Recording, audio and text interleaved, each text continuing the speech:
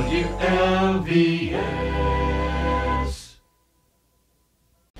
da da da da da da da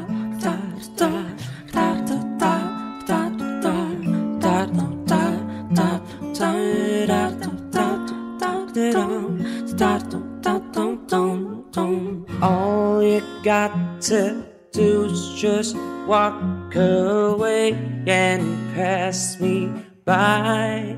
Don't acknowledge my smile when I try to say hello to you, yeah. And all you got to do is not answer my call when I'm trying to get through. Keep me wondering why when all I can do is sigh. I just wanna touch I just wanna touch and kiss. Said I wish that I could be with you tonight. You gave me butterflies inside, inside, and I. All I got to say is that I must be dreaming, can't be real. You're not here with me. Still, I can feel you near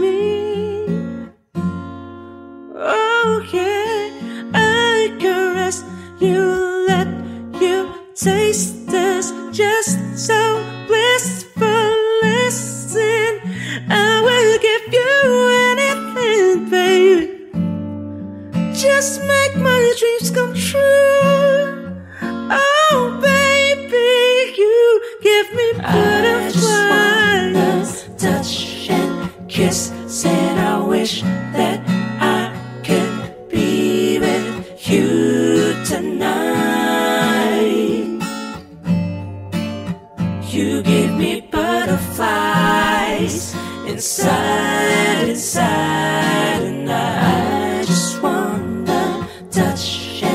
Kiss. Said I wish that I could be with you tonight.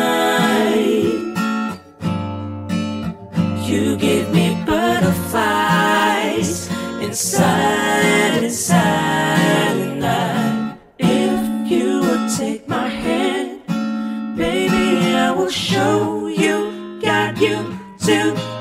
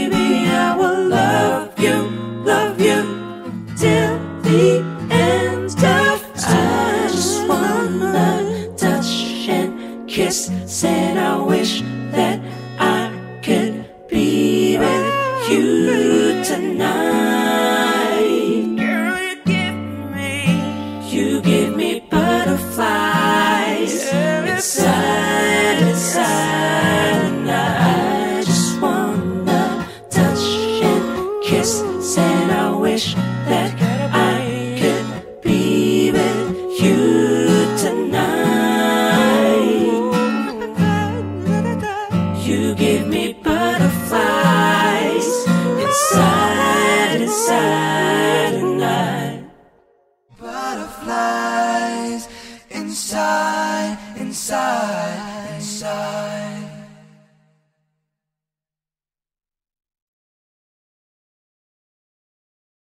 What up, y'all? This your boy Ace here. Welcome to After News Delight.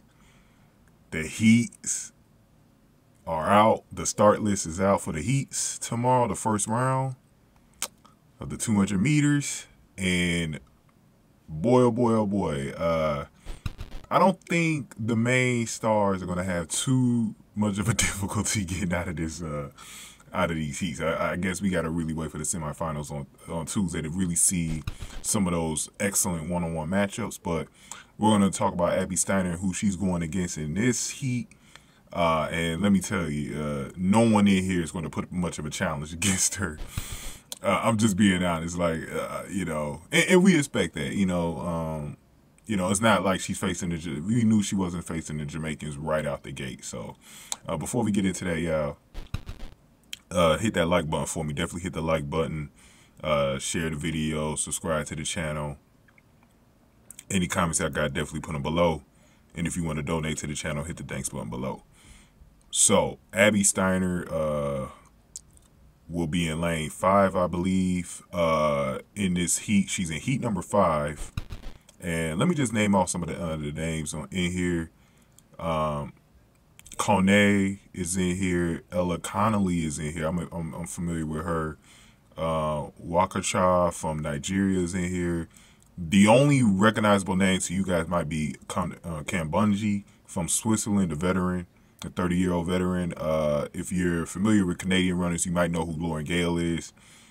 Beyonce De Freitas uh, is uh, rounds out the list here, but uh, really, Kambundji is the only one that can actually challenge Abby Steiner in this field. Uh, she's got the closest personal best and season best at a 22.18 that she accomplished this year.